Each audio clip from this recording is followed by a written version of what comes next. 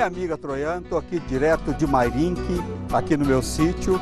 E hoje nós vamos fazer uma matéria para vocês do Santa Receita, falando sobre o poder das ervas medicinais e também dos alimentos. Nós vamos começar falando da moringa, que eu já falei tanto dessa erva no programa. Hoje vocês vão conhecer como funciona a moringa e conhecer também o pé da moringa. Vamos lá?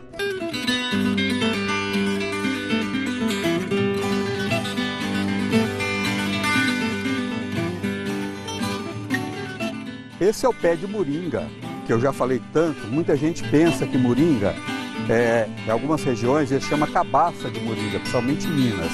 Mas essa moringa não. Essa folhinha aqui, ó, que eu estou falando, que é uma árvore, que ela é riquíssima em beta-caroteno, é um poderoso antioxidante, é, é ótimo também para a visão, para a pele, para o cabelo. Tem estudos que mostram o uso da moringa, é, ela pode curar doenças de pele, várias doenças de pele, a pessoa fazendo uso. Além de fazer o chá, é, fazer cremes, tem o óleo da moringa, tá? É, ela também pode ser usada in natura dessa forma. Pode colocar no arroz, pode colocar num refogado. Tem região, principalmente no Nordeste, que tem pessoas é, e crianças por falta de vitamina A com problemas sérios de visão. E isso aqui pode ser uma grande solução para isso. Essa folha, ela pode ser usada no dia a dia na alimentação. Além disso, também pode preparar é, cremes, que eu vou ensinar hoje para vocês. É, também pode usar é, como máscaras para beleza, uso oral também para prevenir e combater o envelhecimento e tratar várias doenças, tá? E eu também queria falar dessa vagezinha aqui, ó, que é isso aqui, ó, que é a semente da moringa. Ó, essa aqui tá verde ainda, tá? Essa sementinha aqui, ó, que você é, que vira o pé da moringa, tá? Que daqui que sai a muda da moringa. Mas essa semente também, ela tem uma grande serventia, é, principalmente pessoas que moram em região que tem aquela água é, com barro, né? E a gente vê tanto na televisão no Nordeste as pessoas usando água com barro. Se pegar essa sementinha aqui, bater ela, quebrar, colocar na água, ela tira todo o barro da água desce para baixo, a pessoa pode coar essa água, depois filtrar e esta água é, vai estar pronta para o seu consumo e ainda rica em beta-caroteno, que é a vitamina A. Então a moringa realmente ela tem várias indicações e todo mundo deveria começar a procurar a semente e rápido, viu gente? Em dois anos você já tem uma árvore no fundo do seu quintal ou no seu jardim para você usar. E vocês vão ver agora que nós vamos para a cozinha. Eu vou mostrar para vocês inúmeras receitas feitas com a moringa. Vamos lá?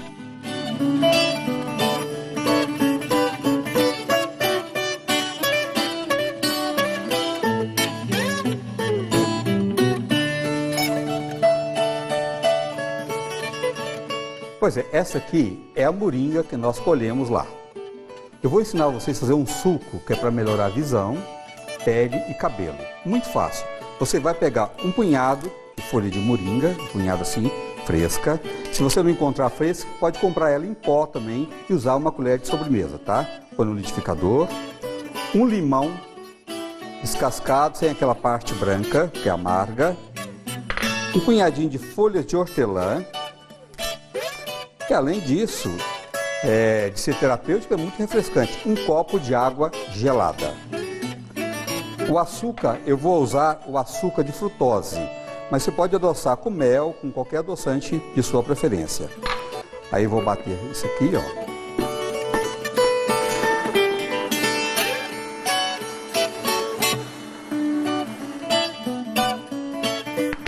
Bateu, tem que coar. Tá? Eu vou coar aqui, ó.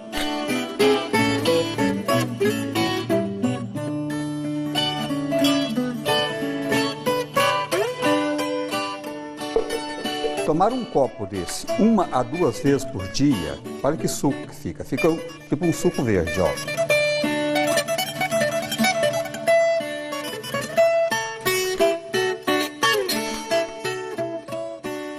Fica uma delícia. Refrescante, delicioso. O que predomina é o limão e o hortelã, tá? Um copo uma a duas vezes por dia para visão, para pele e cabelo.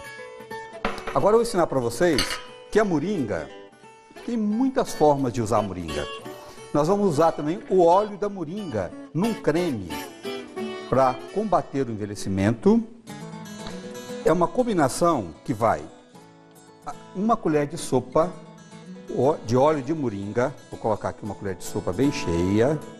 Ó, de óleo de moringa. Uma colher de sopa óleo de romã. Óleo de romã também é um poderoso antioxidante, é maravilhoso. Tá? Romã é um produto maravilhoso, serve para várias coisas.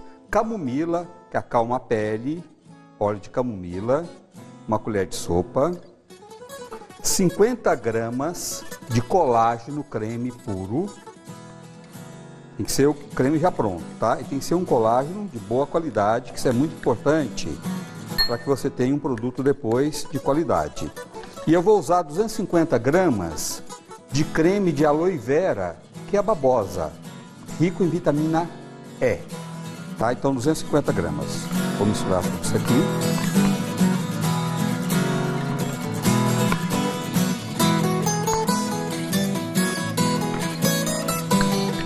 Esse creme fica uma textura maravilhosa e você pode usar no rosto, pescoço, porque tem pessoas que às vezes usam creme só no rosto, esquece de usar no pescoço e nas mãos.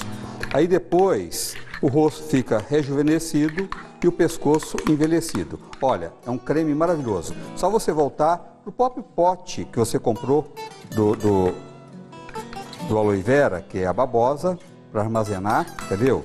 Mistura bem, se tiver óleozinho, tem que misturar bem mesmo, tá? Não precisa pôr na geladeira, que ela não estraga.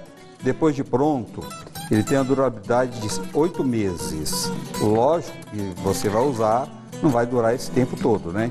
Porque se você não usar, não vai ver o efeito esperado. Então,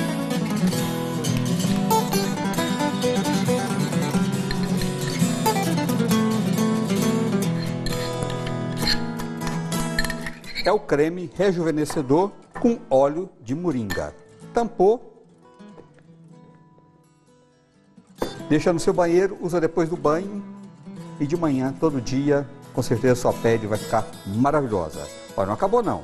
Óleo de moringa, tem é, farinha de moringa, tem vários produtos, tinturas que eu vou ensinar para vocês. Agora eu vou ensinar uma máscara. Para que serve essa máscara? Ela faz um lift, ela levanta o rosto. Tá? O que, que você vai usar? Moringa em pó. Tá? Que, ó, essa folha aqui, essa mesma folha, transformada em pó que você compra já em pó. Tá, se você quiser também, se você tiver em casa, você pode pôr para secar e desidratar as folhas também, tá? Mas você vai usar meia colher de sopa de moringa em pó. Argila rosa. A rosa é melhor para a pele, tem a verde, tem outras cores, tá? Mas usa a rosa que é melhor. Uma colher de sopa. Mel eu vou usar também uma colher de sopa de mel. Mel é ótimo para a pele. Tá? Vou usar também cacau em pó, uma colher de sopa. Meia rasa, tá? Não precisa encher muito não, tá? E vou usar aqui duas colheres de sopa de iogurte. Se precisar mais, você pode colocar, porque isso aqui tem que virar uma lama, tipo um barrinho mesmo, tá? Vai praticamente um pote aqui de iogurte, viu gente? Ó, o restante do iogurte. Porque tem que ficar uma textura, tipo uma lama mesmo. Ó.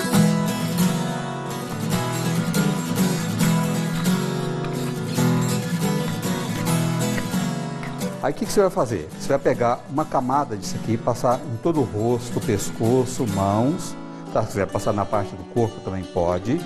Deixa durante uma hora para agir. Depois você vai no banheiro e tira, se de preferência aquela bucha é, caipira, tá?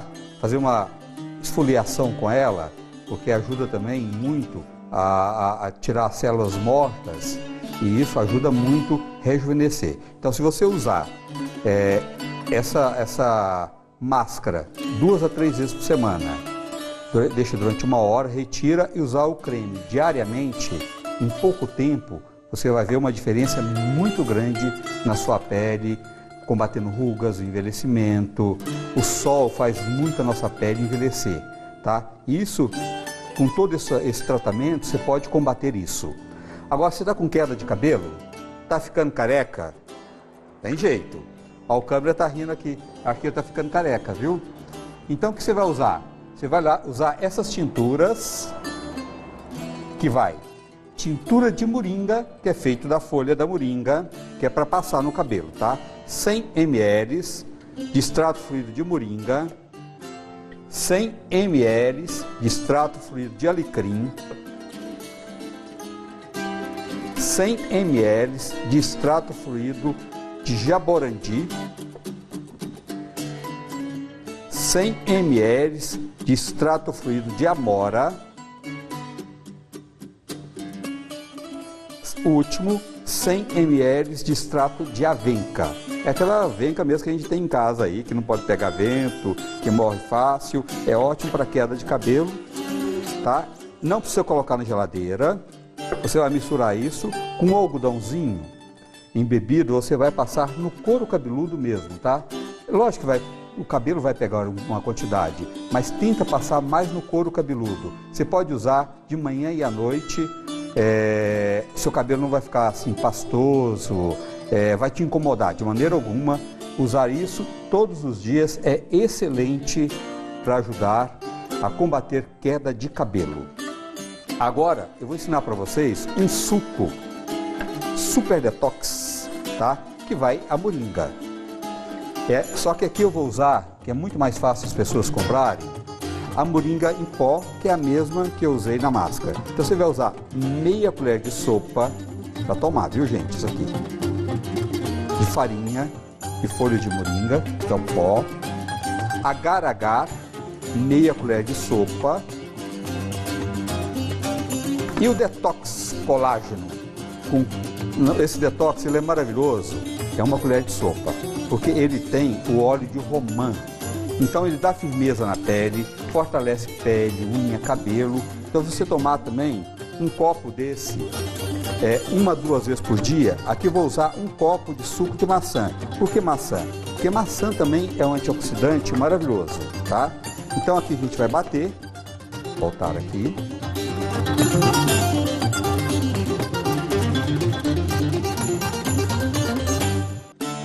Rapidinho é muito gostoso, muito saboroso, porque o detox colágeno já vem adoçado com polidestrose, tá? Então não precisa adoçar. É maravilhoso isso aqui. Tomar dois copos desses por dia, usar o creme, a máscara, né? tomar isso aqui duas vezes por dia, olha, você vai ficar bem jovem, tá? Tintim. Limpar o bigode. Nossa, fica muito bom, viu gente? Realmente é delicioso.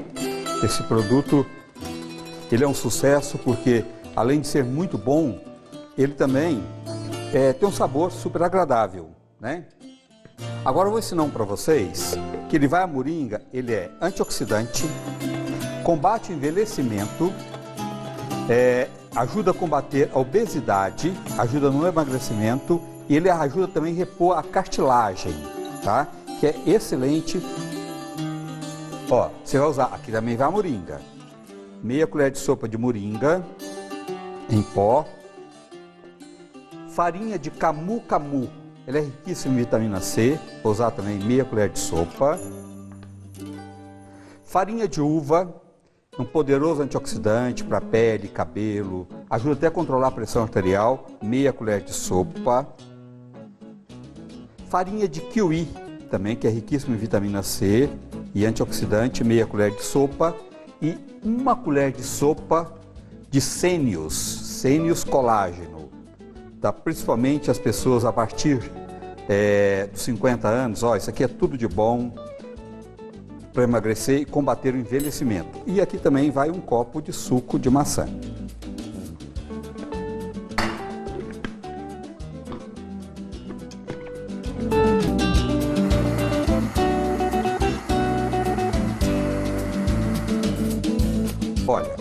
Tomar um copo desse duas vezes por dia, para quem quer perder peso, pode tomar até três vezes por dia, de manhã, antes do almoço, antes do jantar, tá?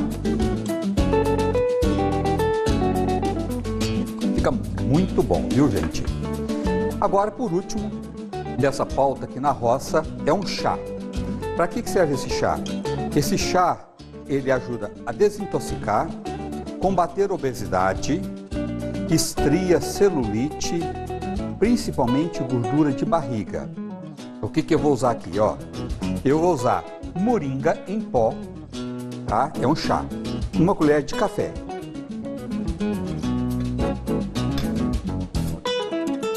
Centélia asiática, que ela é ótima para emagrecimento, para estria, celulite, um punhado. Sempre um punhado assim de dedo, ó, gente. Vou tirar aqui da frente, certo? Sem colágeno. Laminária, que é uma alga, que é ótima para gorduras localizadas, principalmente barriga. O hibisco, que eu já falei tanto hibisco para vocês, que ele é ótimo para melhorar o intestino, tirar a compulsão por doce Oliveira folha, a oliveira ela contém 17 aminoácidos, ela ajuda a controlar a pressão arterial, tá? É, e ajuda também no processo de emagrecimento.